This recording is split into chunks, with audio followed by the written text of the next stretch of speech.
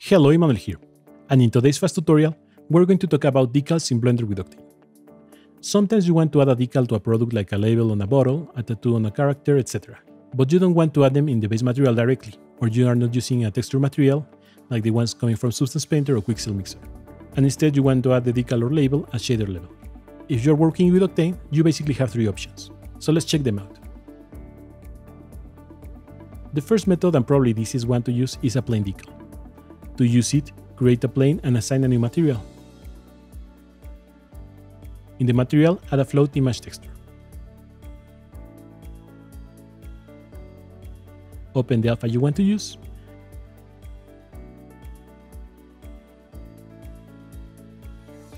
And set the gamma to 1 since this is not color information. Now connect it to the opacity. Now we need to position the plane over the general area in which we want to add the decal. For example, on the shoulder of the Lego figure.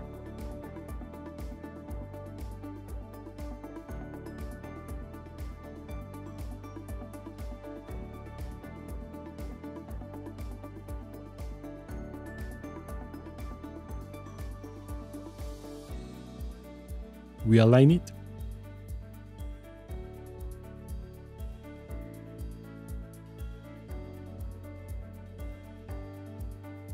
And now we need two modifiers. The first one is a subdivision modifier. This modifier is optional, depending on the surface.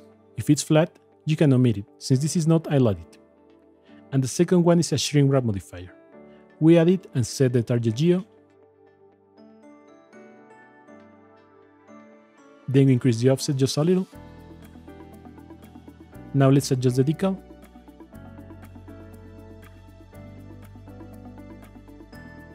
And it looks like it's working.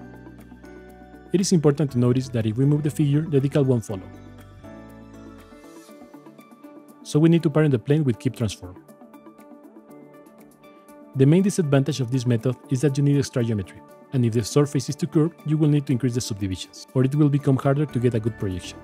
And the main advantage is that this is the fastest method.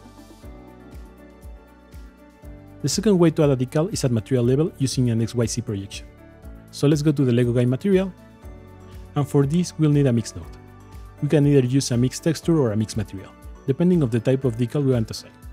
If we only want to modify one channel like the base color for example, we just need a mixed texture. But if the decal is a completely different material, then we will need a mixed material.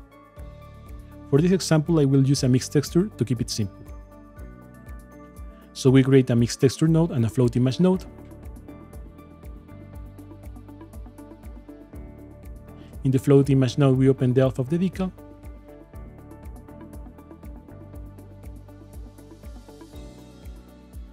Set the border mode to black color since we don't want tiling, and set the gamma to 1 since this is not color information. Now we need to connect the texture that we want to include in the decal, for example the base color. We connect it to the texture 1 of the mix node, and the alpha we just added to the mount. Then the output of the mix node to the albedo color. Now in the texture 2 of the mix node, we can either set another texture or a color value, or even leave it like that and just set the value. I will do the latter and only set the value to 1 which is white. And we can see it is working, but now we need to fix the way the alpha of the decal is being projected. So we add an XYZ projection node and connect it to the projection of our alpha.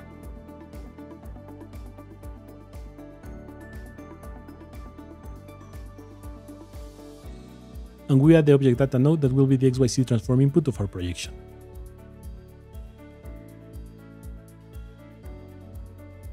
Now we need to create the object that will control the projection. So we create an empty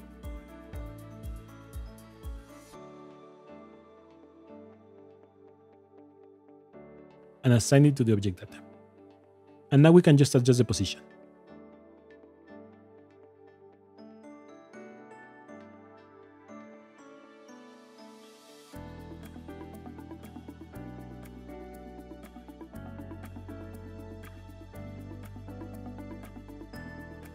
As you can see, it is pretty easy to do. And if we move it, it is working. This is because the projection is set to object space. If we change it to world space, we'll have the same issues that the one we have with the plane. If we move the main object, the decal won't move. But if we parent it with keep transform, now it will work as expected. The main advantage of this method is that it is pretty easy and intuitive to position as you just saw it. And the main disadvantage is that if I look the other side of the asset, in this case the back of the Lego guy, the stamp will be there as well, and probably that is something we don't want. The third method will solve this issue, and is pretty similar to the XYZ projection, so let's check it out. This last method is to use a UVW projection. So again, we create a mix node,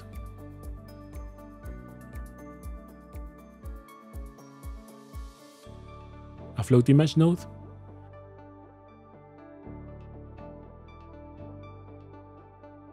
In the float image node, we open the decal of our alpha, set the border mode to black color since we don't want tiling, and set the gamma to 1. Connect the float image to the amount of the mix node, the base color to the texture 1, and set the texture 2 to 1. Finally, connect the mix node to the albedo channel. Now we need to create a UVW projection and a 2D transform node.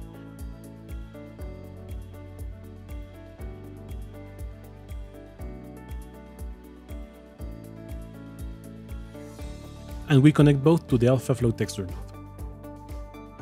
Now here comes the tricky part, since as far as I know there is no easy way to position it, or at least I haven't found a good one yet. If you find a better way, please let me know. What I usually do is I open the UV editor and go to edit mode, select the cursor tool, and move the cursor to the center of the image. Then I move it to the part of the image where I want the decal, and copy the x and y values to the 2D transform node.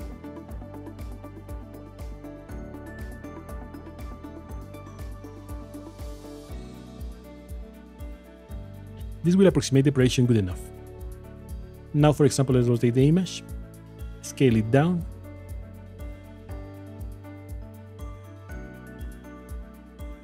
As you can see it is working.